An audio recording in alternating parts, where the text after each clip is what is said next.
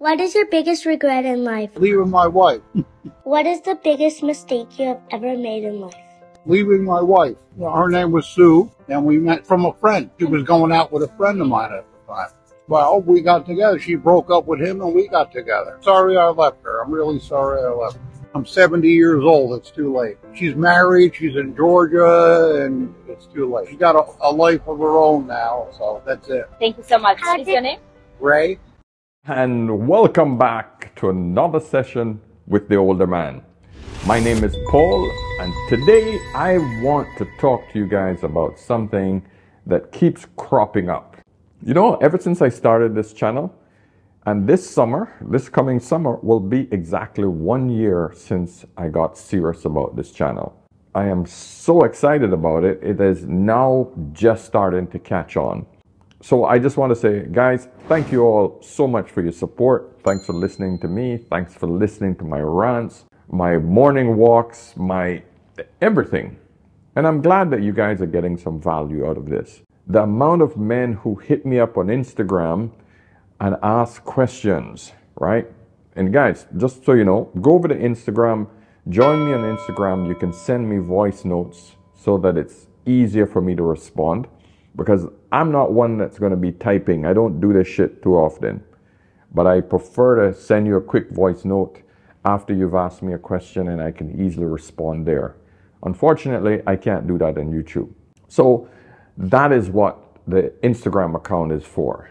Now, the YouTube account, this is where you guys have to support me to actually make me a few dollars from this thing because it takes a lot of time to do these videos. And I'm not asking for anything more than like my video and watch some of the older works that I've done so that the algorithm know that, hey, you know what, this guy's pretty interesting. And they'll push the content out to more people. All right, that's all. That's all I ask. Of course, if you want to buy me a coffee, you can click in the link in the description link. And of course, if you want to have a deeper, longer session one on one with me, you can book a session with me on my website, askanolderman.com. All right, now that that's out of the way, let's talk about the subject of today. Because this is where most of the questions come to me online. It's all about relationships and, more importantly, marriages. People who are having problems with their marriages, guys who are going through divorces and it's killing them, women who are contemplating a divorce, people who are contemplating suicide because of divorce. Marriages are not in a good spot right now.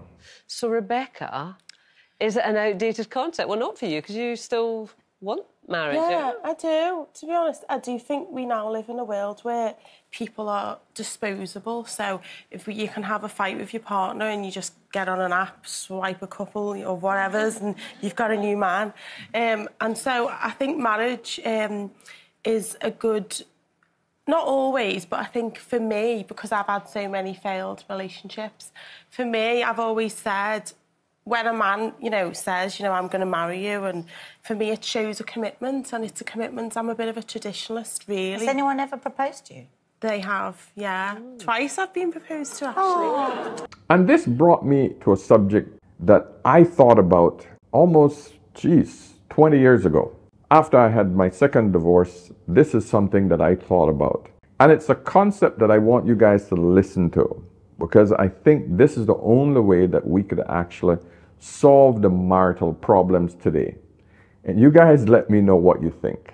And it is simply this marriage should never be until death do us part. Yes, I said it. I think that this is one of the biggest problems with marriages. I think what this old fashioned, this outdated concept has done, it has put way too much pressure on today's modern society. But, but I mean, what you want is commitment then. No, I, I want someone to really um, commit. Um, yeah, I do, and I do feel like you know, we're seeing it now on the statistics. It's everyone's so easily disposable. But do you need marriage to get commitment? I mean, that's the thing. Um, I don't. I don't think so. I really want. I'm like you. I have this real white wedding dream in my head. I'd love to get married. I actually don't want a marriage contract. um, I know that sounds ridiculous, but I, I, just want the day I want to declare my love to somebody. I want the dress, but I don't want the contract because I, I, I feel the opposite to you. I yeah. feel as though once you've committed yourself to somebody, a piece of paper isn't going to make that any different yeah. for me. Yeah. Um, actually, the love is already there and the commitment's already there, and if they decide to walk, they'll yeah. walk. Listen, until death do us part was part of the marriage vows simply because we didn't live until 80, 90 year old back in the day. Most of us, I'm talking your average individuals, most of us only lived around 45, 50. Some were even less, 35. Okay? A lot of women died during childbirth. A lot of us didn't make it cross the old 5 0, man. Most of us were fine saying till death do us part back then. But now we're living into our 70s, 80s, 90s, hundreds, and that's a long commitment with one person. So here's my concept. And first of all, I want you to think about this one critical point. Which contract do any two parties enter into? Any contract at all, where it's a lifetime contract? I don't know of any. Till death do us part technically means that there's no expiration date on that contract. And let's get serious about what marriage is. Marriage is a contract. Because anytime you have to sign on the dotted line to say, yes, I'm going to take responsibility for this person. And yes, if I'm sitting in a vegetable state on a bed, that person is authorized to pull the plug. That person is authorized to do every single thing about my life. That is a contract, my dear. A contract is a cold, hard, legal entity. That's the best way I can. That's the. I want to show you the reality of it. it. Has nothing to do with romance. Romance part that's different. The passion part that's different. There is a contract involved. You are legally bound to the individual. Yes. And it's forever. The only contract that I know of that it's forever. I think that that contract should no longer be applied on into today's modern marriages. Because let's look at it. Let's look at the facts. Most marriages, 52 or 53% of them are failing. Rarely do marriages make it over five years. Rarely.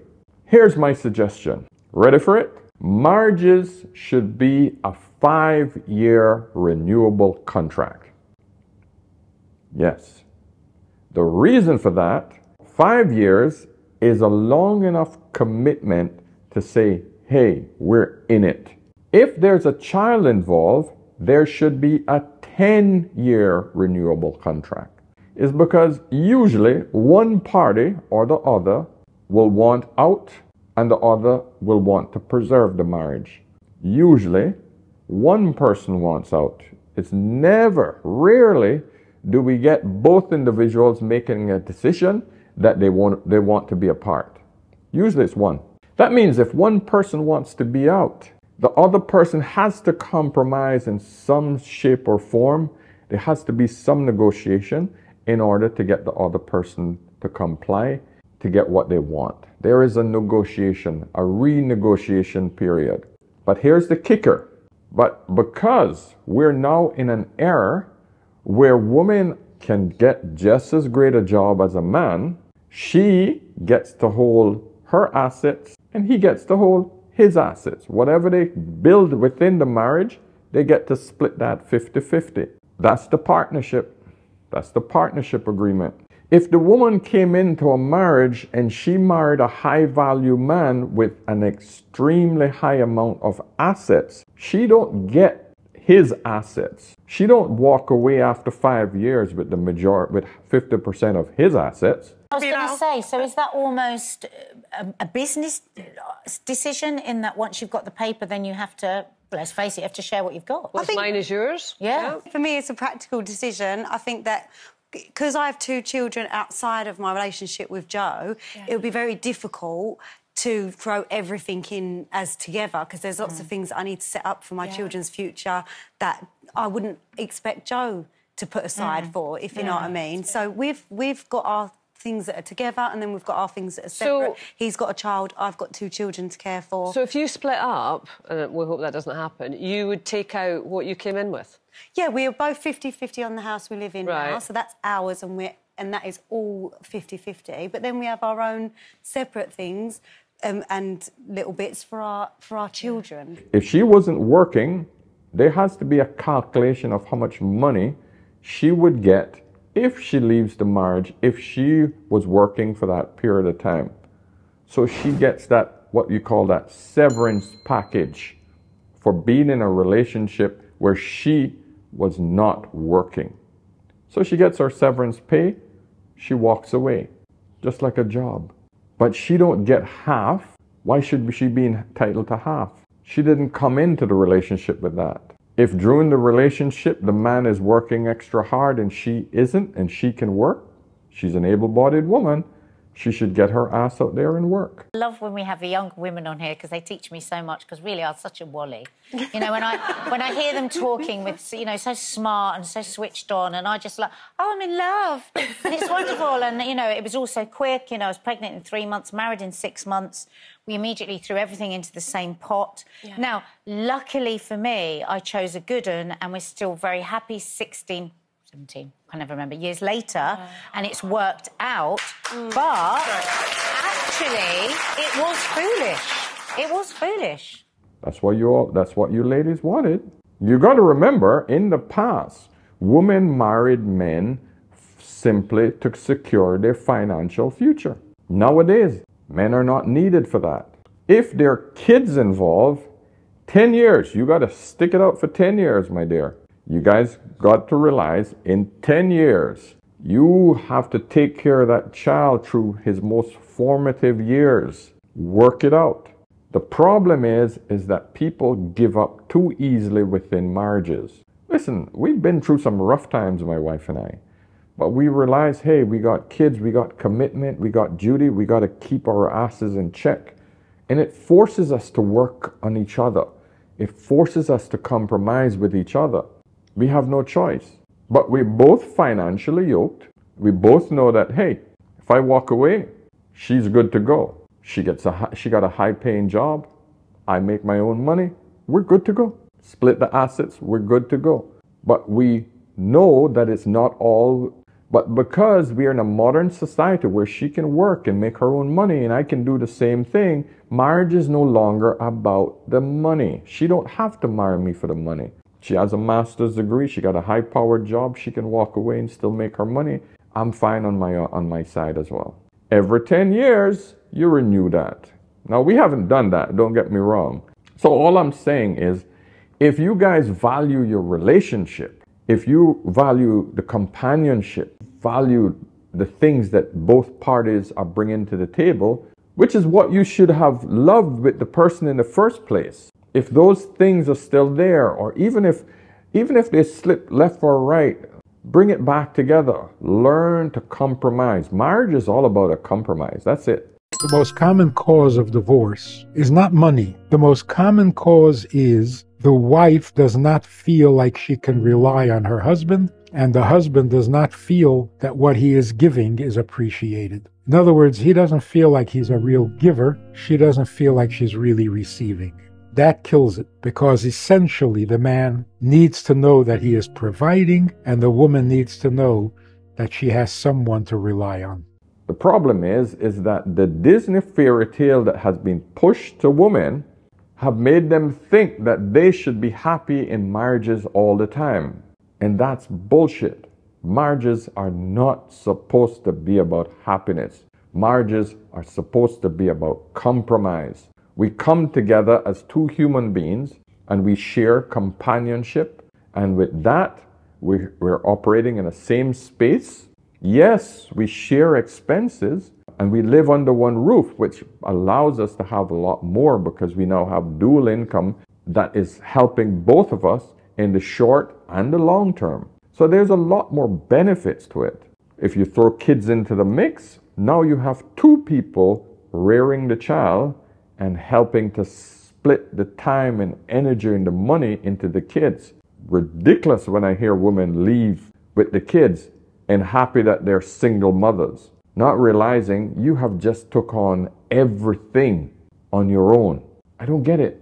Now I will understand if the man did absolutely nothing and you were working full time and coming home to be a full time mom and he did absolutely nothing. I mean, not even 10%. I would understand that. But still, 10% is better than nothing.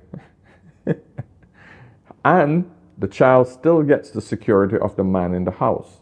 But I will tell every man if he neglects his fatherly duties, then he's a deadbeat dad. Regardless if he's in the house or out of the house, if you're still neglecting being a dad, you're still deadbeat. You're still nothing. I make sure I provide my daddy roles, the discipline, the discipline, that's most important. And I'm not talking about shouting and being rough, but just making them understand everything from a critical point of view, from a rational point of view. This balance is needed, required in a household to balance my wife's more nurturing personality. Marriages should be a 10 year renewable contract with kids. Assets are divided equally. Both parties have to go back to work. No party gets to take lifestyle with them. If the woman makes more and the man walks away from the, from the marriage, he don't get to get her money just to maintain his lifestyle. Lifestyle comes with the money, but it also comes with the partner, whether she's male or whether it's female. You ladies are going to start to learn how it feels being the primary breadwinner, and when you leave the marriage, the man is going to sue you for alimony. More and more men are going to get alimony. You ladies got to be careful. Let's look at this video, just like I'm. And you want an example of that? Here it is, right here. Where you had to go on tour to pay alimony Yeah. to your ex-husband. I don't know if the number's correct. I Google. I saw it was like thirty thousand a month or something like that. Yeah. Um, correct us if we're wrong. so, looking back on it in hindsight, what would you have done differently when you first got married in terms of shielding your assets? I would have never let a person have that much power over my money, my life, over anything ever again. So I would, I would, now I, I'm learning, I, I, I'm in control of my business, I'm in control of my life, and um, it's mandatory that I learn more about the finance business, you know, so I don't ever have to be robbed again by, you know, maybe somebody you think you can trust, you know what I mean? There you go. Celebrities are crying because they have they had to pay out alimony to a man. It's happening. As more and more women start to make more money, this is what's going to happen. So, guys, let me know what you think. But I am a bit shocked by the amount of women who are leaving marriages. Even wealthy marriages. Women are looking for a lot more than just money out of marriages these days. It's bizarre. that women leave men 80% of the time. And if they're college educated, it's 90. So if you get divorced, it's 80% of the time like the woman leaves. And one of the number one predictors of a divorce is actually if the woman out earns the man. Oh, I love that. I actually love that. I can't lie. I actually You love that? You don't I think that's that. kind of No, I'm like, girl, you you go get that. You If- go get a if- man and like, yeah, you go get that. Like, really? Yeah. Like, why, why is there like a lack of empathy for men? It's Like- not a lack of empathy. But, It's but there is because like they're they're breaking up a family and a lifelong commitment and a home, and your your your reaction is you go like go get that go get the bag, sis, or like I'm so happy for you. When that's actually a really like that's a sad situation. Like your wife is leaving you. and everything has to be given to her is quite bizarre. This expectation is crazy. And more and more women are regret leaving their husbands. I mean, a lot of them are going on TikTok and boasting about, oh, I got a divorce today. And then you see videos later on, oh, I regret leaving my husband. I regret leaving my husband. So I recently started dating again um, after Oh, no. being in a relationship for 15 years, I decided it was finally time to dip my toe into the dating pool. I thought this could be fun. You know, maybe I would meet someone. If nothing else, like maybe I'd make some friends. Yeah, I was not prepared for the onslaught of misadventures that transpired. Misadventures. I know that the dating world has changed quite a bit. You know, I mean, everything's gone online and all that fun stuff, and I was okay with that. But nothing could have prepared me for any of what I've encountered. I left my husband because I was more educated. They're leaving husbands for crazy and the most bizarre things only because the courts actually benefit women when they leave and they suck men.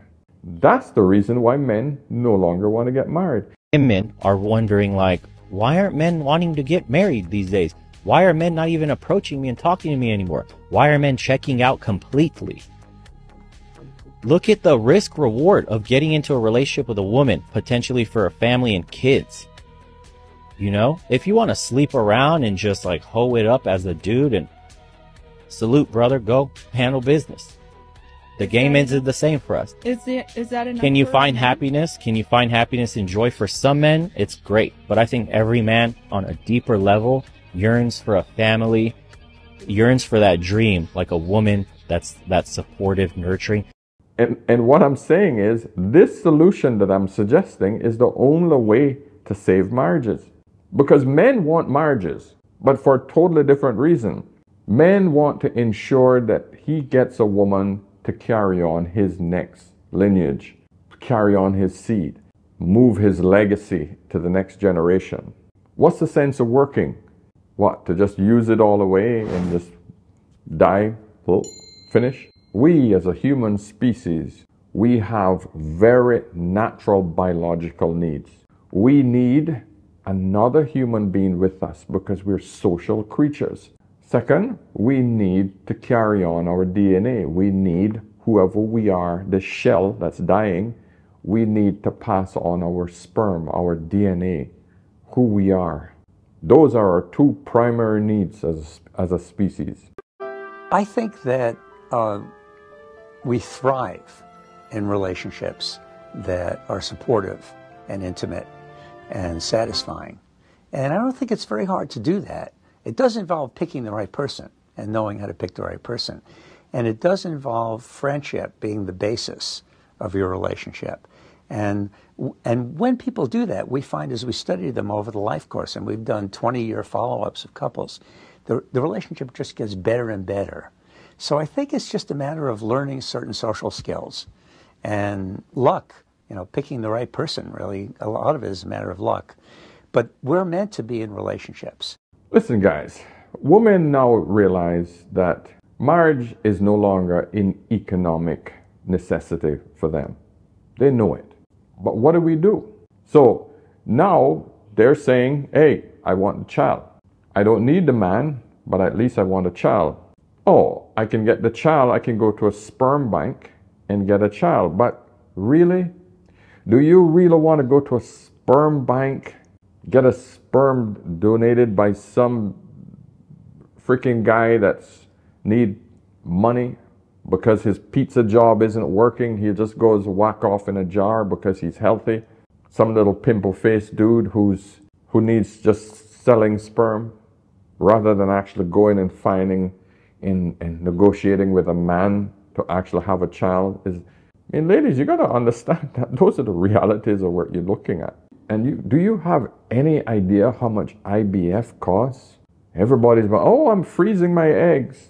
You have any idea how much it costs? Just one just one round.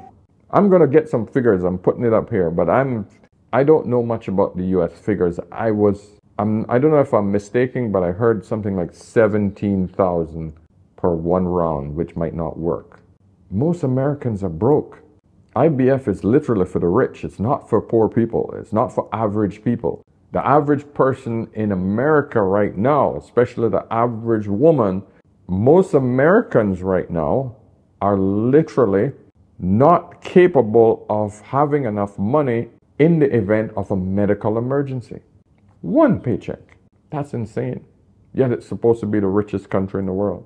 Anyway, now what we're actually starting to see is more common law marriages. What is a common law marriage? Common law marriage is when you're living with someone but you haven't legally married that person.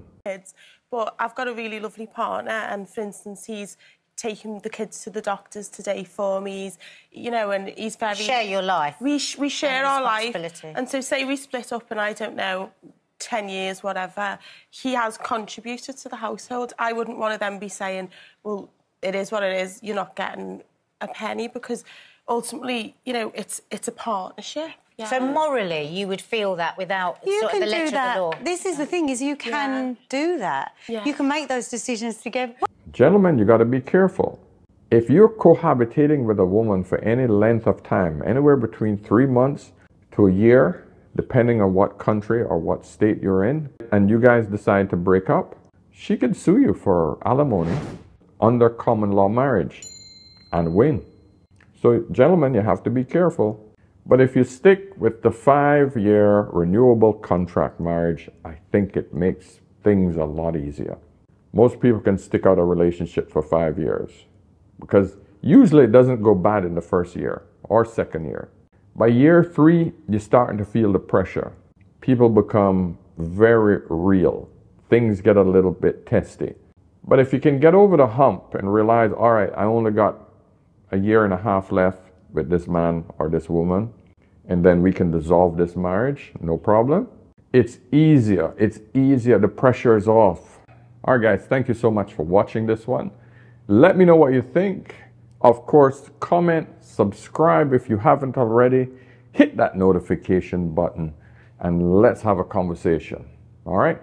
And hey, if you want to know more about my thoughts on reasons why you should never marry a single mother, check out my next video.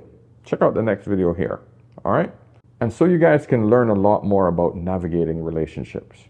Just so you understand, it's not every single, just so you understand, not every single mother is created the same. And I'm not saying that you should stay away from every single single mother. I'm just saying there are certain women with kids that you have to have extra caution. And I describe it here. All right?